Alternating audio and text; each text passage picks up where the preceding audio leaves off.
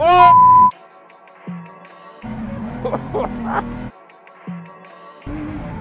nope!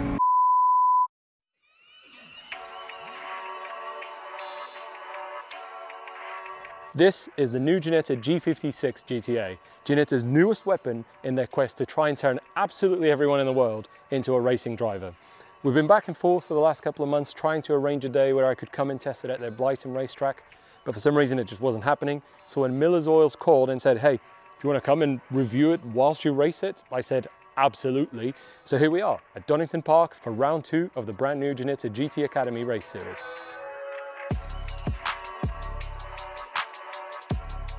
Now, if you're familiar with the G55 model, you'd be forgiven for thinking this looks exactly the same because, well, it does.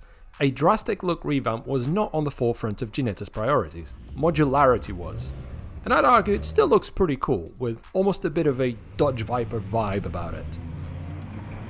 You join me in the cockpit of the G56 GTA on our way to the grid for race one. I am snugly attached to a Corbeau bucket seat which itself is attached to a space frame chassis developed by a fiberglass bodywork. I am looking at a Motec LCD dash and in my hands I have a bespoke Ginetta steering wheel with paddle shift. All my controls are uh, within reach too on this sensor panel here. Things like your wipers, etc., which I, I don't think we'll be using today. This car is based on its GT4 older brother, the winningest GT4 car in the history of British GT. It's here this weekend as well, one of the most successful race cars in the world. But whereas the GT4 would set you back around 120k, the GTA comes in at a more modest 65k or so. So for nearly half the price, you get more than half the performance, more than half the power, and more than half the noise. You don't quite get that straight cut whining of the Hewland sequential in the GT4, but this six-speed Quaife, well, quiet it ain't. It takes the V6 that the Ford Mustang rejected and uses it to become a 270 brake horsepower, 300 pound foot of torque, tracked a supercar embarrasser at worst, and a serious racer at best, which I guess is what we're about to find out. It's a pretty damn light car. at uh, 1100 kilos, which is about as heavy as a new road-going MX-5. Now, one thing you may have noticed is that I'm not frantically weaving from side to side to warm the tyres up. I'll have to tell you why a bit later because now comes my favourite part of being a guest driver. I get to do my first practice start at the race start. Great. Starting from 10th on the grid, I asked a bunch of people what they thought the best procedure for this was, and everyone gave me different answers. So I'm just gonna go with whatever feels best. Five seconds. Go. Not bad. Whoa, whoa, whoa, whoa. I was about to say, not bad. Bit frantic already. I think I'm gonna stick to the outside. Way, Jesus. Nearly wiped my front end off. What the hell? oh no. Oh, sh Oh, No! That is not what we wanted. Come on. Jeez. The, ah. That. Right, fine. Doesn't matter. Let's go. Let's let's try. Let's try. Let's try and get them back. Sorry, Ed. This is my my teammate Ed. Sorry, Ed. You're a nice guy, but Lucky for me, further ahead someone was trying to buy me some time to gather myself up after those first few corners. Unlucky for me, it seems no one told my buddy Ed about it. Oh, safety car board! Safety car board! Oh, what the shit? What the f? Oh, what was that? Oh, my steering! No! Back. Come on, Supra! First impressions, well, I give the impression my steering's fucked. my guess would be a bent steering arm, but uh, something, but either way, definitely feels like it's pulling to the left a fair bit. Oh, that was not the best start, that's for sure. Sometimes you're on the outside into the first corner and other cars get a bit jumbled up. Occasionally you can just sail past everyone on the outside. Uh, that is definitely not what happened there. Uh, it was a, it was a gamble and it, it did not pay off that time. But it's important to keep you cool, you know. When when you have a start like that, you got to think there's a reason you qualified in front of these cars. You have the pace, and you, and you can regain those places back. So focus is key. The main thing is to just not lose focus. You gotta just concentrate. The race starts now, and you know we'll go after them. See what we can do. That that was obviously. part advice to you, part psyching myself up. Uh, let's see what we can do from here with the with the wonky steering wheel. A bad restart meant I was behind Ed in another car yet again. Oh no, it's just I'm not sure this is going to work out. But I was still determined to somehow salvage this race. A little bit of pressure. Yeah. oh, dude, stay there. Stay there. Do not come across. This one's. That's it. Oh. There we go. The culprit. This one's mine. Oh, you're the culprit, Ed. You started all this.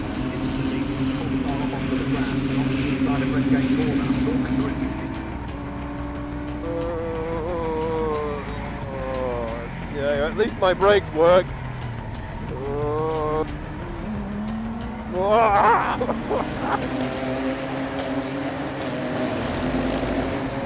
uh, well, I'm not sure that was the ideal first race, but hey, could have gone worse, I suppose. First race done. Uh, can hardly look at the camera, there's so much sweat in my eyes.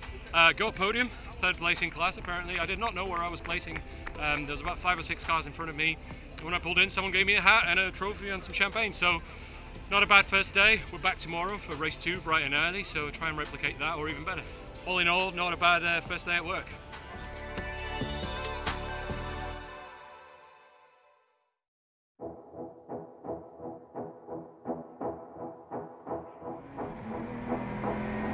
Here we go. Day two, race two. Looking to improve on yesterday's result, obviously. But Already we're kind of not off to a great start, if I'm honest, because the guys were at it yesterday working hard to, to fix this steering issue.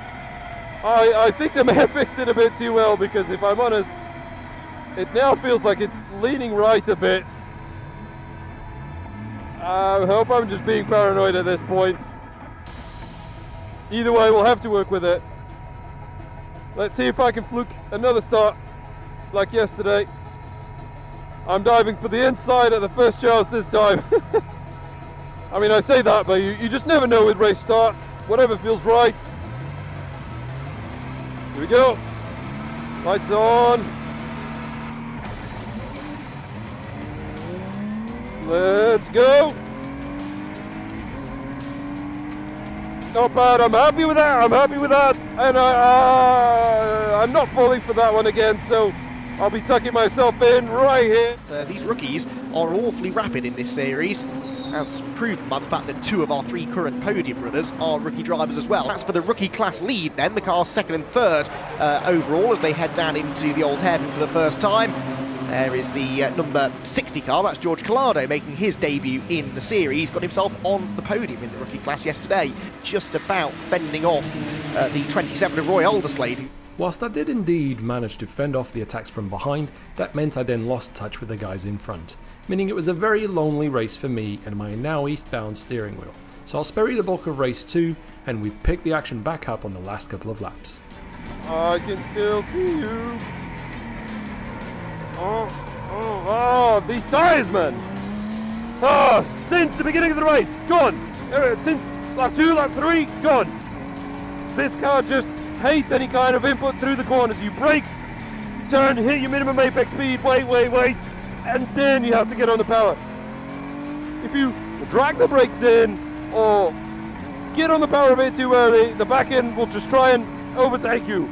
So frustrating. I mean, the problem is you can't be too mad because that is what a big GT car does, kind of. So uh, you know, it's doing its job of preparing you for that, but boy, it's frustrating in a situation like this.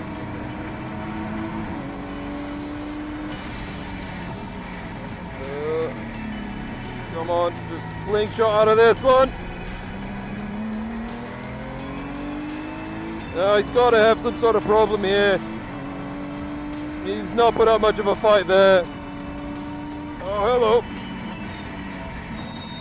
Uh, dropping like flies. Just got to make sure I'm not one of them. Ah, shame to get in those two places like that. Of course, I'd uh, much rather have battled it out with those two guys, but at the end of the day, that's racing. You take what you can get. Ah, knackered.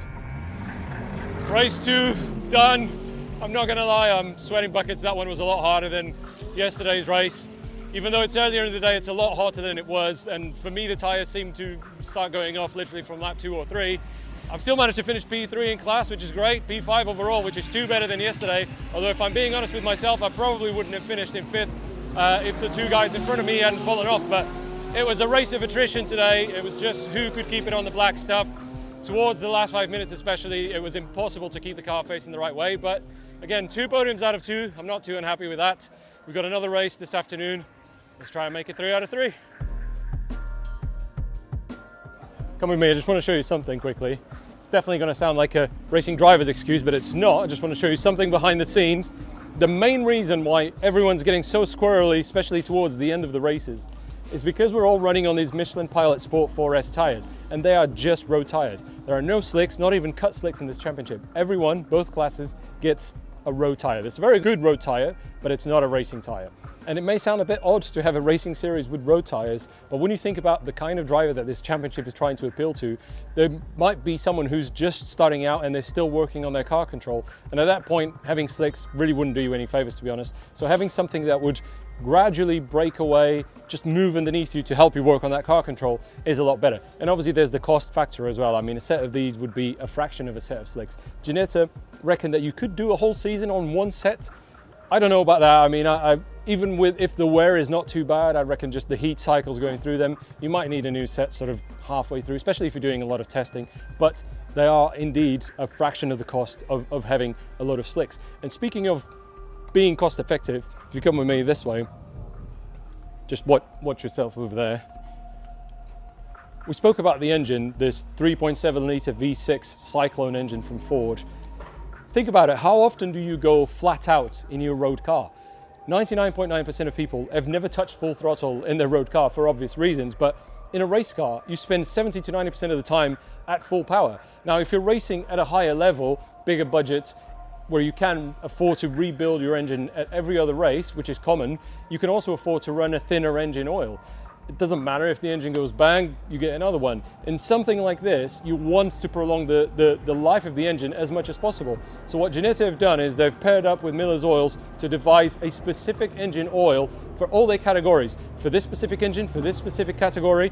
And when you pair that to the fact that this Ford engine is already a pretty reliable one, unless you have a bit of a shunt, I think you're good for the whole season, to be honest round number six of the Ginetta GT Academy coming to you here from the Donington Park Grand Prix circuit, the third of three races this weekend for Ginetta's newest championship, and they continue to provide plenty of thrills and spills for the uh, crowd here at Donington. Let's go! Last race. Two great starts under my belt. I have no excuse See if we can make it three. Uh, good enough, good enough. Where's he going? Uh, oh, I thought about, I thought about it for a bit. So good. We're still in it. Trainer curves in this thing is insane!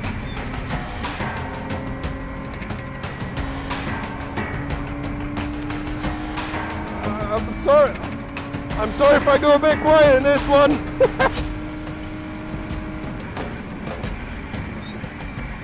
oh, good move, Angus. That's Angus in the green car. Is one of my teammates.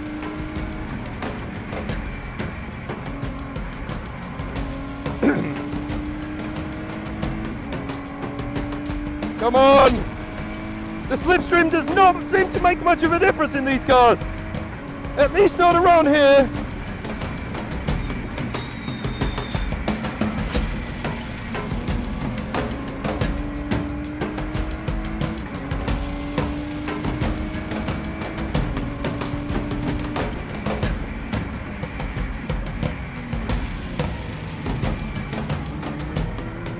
Come on, don't get away.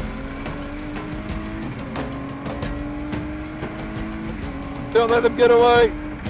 Pierce leads, then tries second, then Whiteside, and then up the inside goes Yates for third place again. That was a really, really robust move, but he makes it work, and it looks like George Collado might follow him through. He's up the inside of Whiteside too. They come across the start-finish line, then side by side for fourth position. Come on, Angus!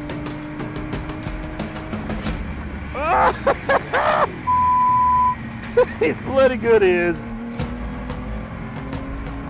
There was no way he was going to let me have that, but worth a go.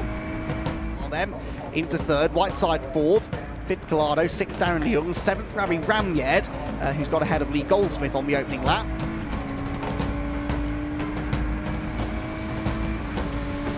Oh, hey, at least my steering wheel's straight.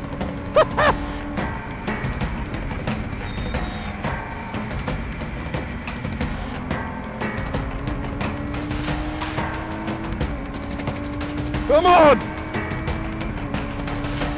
Oh no, no! That pitting, oh, Darren Leung up the inside almost of George Collado there for uh, fifth position.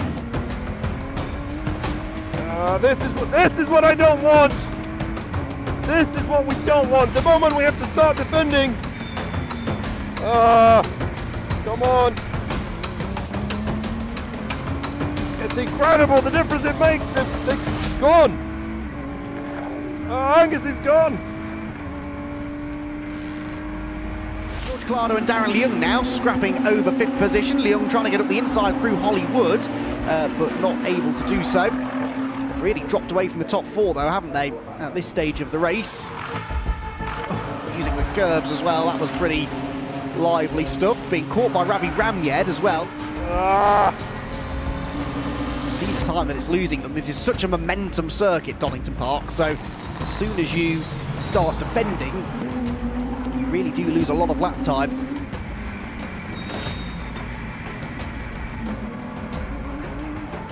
nope. Not today. George Collado then fifth position, but already being shown a black and white warning flag, we assume for track limits. But he's now having to really drive defensively. Leung to the outside, Ramyead looking to the inside of Leung. That was a mistake from Darren. Oh, that is what we call look like.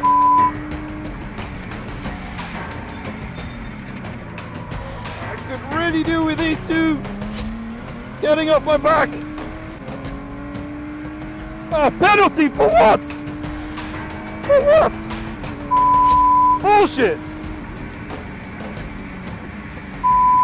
Bullshit. You know, I always was the kid that would get bullied and then fight back and get in trouble with the teacher. I'm not doing anything. What am I doing that anyone else isn't doing? Yes, yes, George, tragic life story there, but what was that you said earlier about focusing 100%? Right, oh, that's a brave lunge up the inside from Ramyead. What a move at the old hairpin. George Collado was a very circumspect on the brakes there. Circumspect indeed, Mr. Commentator, but don't worry, this was not my first rodeo. Come on. Oh.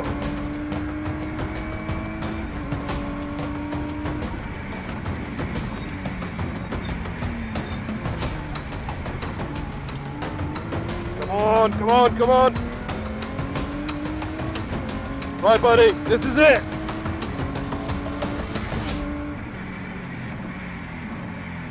Yes! George Collado, the white number five car, who's actually back ahead of Ramyead, so it's just as well, really, because he needs to try and build a five second gap now over the cars behind him, which he might be able to do if Darren Leung starts harassing. Oh, I tried. I drove with all the might of someone who believes he was unfairly awarded a 5 second penalty. However, it just wasn't quite enough. I've totally lost count of the laps. Oh, please don't be the last lap. Ah, ah, never mind. Oh. Give my mechanic a shaka there. it's been an absolute legend this weekend. Uh, oh, Mega dude, Mega, Mega. oh, I'm off, but that was, but that was awesome. So, a dramatic sixth round of the Ginetta GT Academy then, at the end of another really entertaining weekend of racing for the brand new Ginetta GT Academy. So in the third race, as you can see, no trophies, no hats. Uh, I actually finished fourth overall, and I believe P2 uh, in class. I wasn't doing anything different to what everyone else is doing, but for some reason I got a five second penalty, which put me way, way behind. Uh, but what a race, man. What a race. That was, don't be fooled by the term academy. Like, you're going to see guys coming from karting, but there's also people coming from championships above, like Ginetta Super Cup, who are sort of stepping down because of, I don't know, financial reasons. Maybe that's one thing that Ginetta is doing right, is that obviously not only do they have the, the, the motorsport ladder covered with this championship, they're bringing new talent up, but they're also putting a safety net under people who've already got there, and for some reason, whether sponsorship, you know, vanishing or whatever reason, the pandemic, whatever reason, gives them a safety net so you know the tumble back down is not so not so bad. We always talk about how difficult it is to get up there in terms of finding sponsorship, but when you're up there and you find yourself without the budget, it can also be quite disheartening. So this is here, and uh, yeah, well, honestly, what a weekend. I'm going to ignore the five second penalty. I'm going to take that. Uh, I think that was my best race. Amazing scraps with a couple of the guys. Uh, yeah, couldn't be happier. Just at this very same weekend of our recording at Donington, all three BTCC races produced three different race winners, all three of them Ginetta graduates. In W Series, Alice Powell, Ginetta graduate, won in Austria to take the lead of the championship ahead of the current champion Jamie Chadwick, Ginetta graduate. In Formula 1, Lando Norris, one of the most promising up and coming young drivers on the grid, was oh so very close to pulling a major upset and nearly snatching pole position from one of the front teams. He went on to drive a superb race and score himself a podium. And yes, you guessed it, Ginetta graduate. You see what I'm getting at here? Yes, Ginetta manufacture cars. In fact, this very model will soon have a road version under the guise of G56 GTR. But that's obviously for another video really what they're in the business of is manufacturing racing drivers. Until very recently, you could start in a Ginetta Junior Championship all the way through GT4, GT3, LMP3, LMP1. You could literally go from a relatively regional championship all the way to Le Mans without sitting your backside in anything other than a Ginetta. Obviously, with the hypercar rules having changed, that's in the back burner at the moment, but Ginetta are not ruling out a comeback with their own hypercar. Now look, I love supercars as much as the next person. But if you're lucky enough to be able to afford a supercar, if you can afford to take your supercar on track days, you can afford this. You'd be doing yourself a massive disservice if you never gave racing a go. And something like the Ginetta GT Academy could be the right way to go about it. If you enjoyed this video and want to help us get to 1 million subscribers by the end of this year, don't forget to like, comment and subscribe. Thank you very much indeed.